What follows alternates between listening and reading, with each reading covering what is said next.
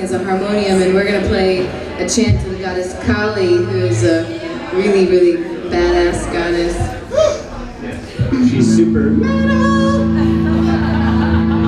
She's like holding the for decapitated, you know, like, what's the most most appropriate god for it to play, sing to in fubar? It's Kali.